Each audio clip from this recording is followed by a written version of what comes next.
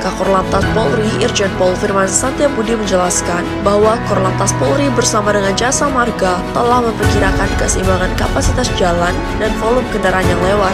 Selain itu, perbedaan ruas jalur tol Cikampek dan tol Cipali menjadi alasan penerapan one way terus dilakukan guna mengantisipasi terjadinya penyempitan atau bottleneck. Kakor Lantas Polri juga menuturkan bahwa pihaknya telah memperlakukan skema kontraflow atau lawan arus sebanyak dua lajur di tol Cikampek dari kilometer 47 sampai kilometer 70.